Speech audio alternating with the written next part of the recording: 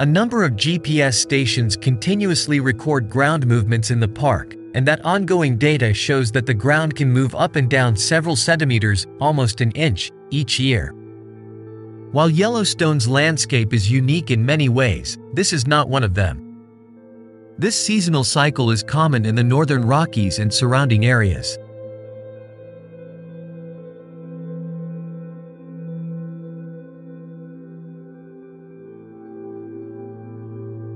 Ground movements are caused by various processes in different regions, sometimes even caused by humans. Tectonic plate movements, earthquakes, and volcanic activity are some of the processes used to measure GPS stations. However, the water cycle on Earth is also a significant cause of land deformation due to large amounts of water moving over time.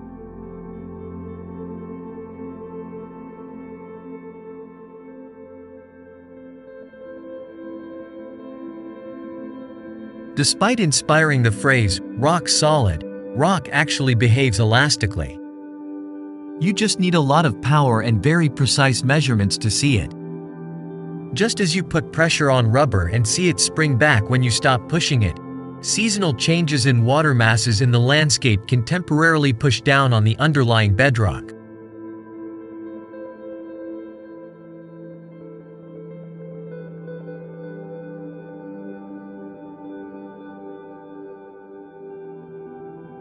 Therefore, GPS stations can also be used to monitor groundwater decline due to drought or excessive use by humans based on the resulting land movement. On shorter timescales, seasonal rainfall and weather patterns also cause varying loads on the landscape causing the surface to move slightly up and down.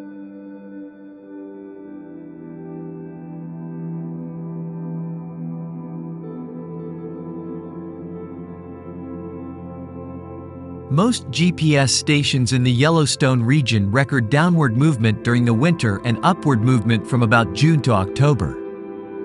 The same pattern can be seen in the northern Rockies. As snowpack accumulates during the winter, the water mass in this region increases.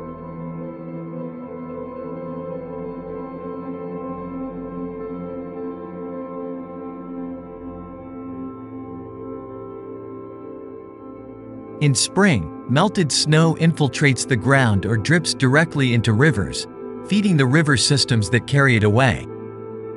The additional weight of the snowpack presses down on the ground surface.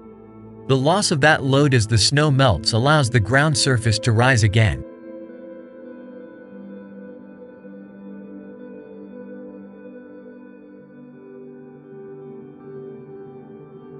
GPS measurements near the shores of Yellowstone Lake appear to deviate slightly from this pattern. As Yellowstone Lake swells with water from snowmelt through June, mass loads here continue to grow even as the surrounding area shrinks.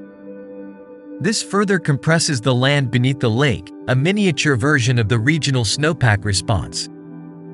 However, as the lake level begins to fall, nearby GPS stations also begin to rise like the rest of the park.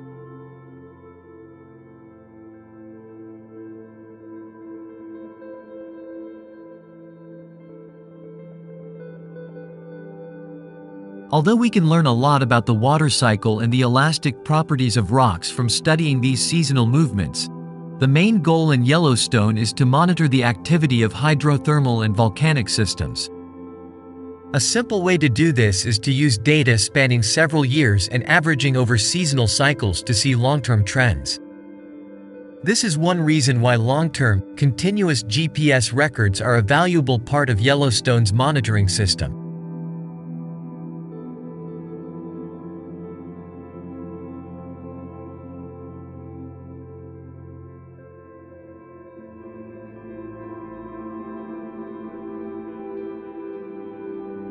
Seasonal movements can also be subtracted based on snowpack measurements, movements of other stations in the region, and other information to reveal more subtle changes.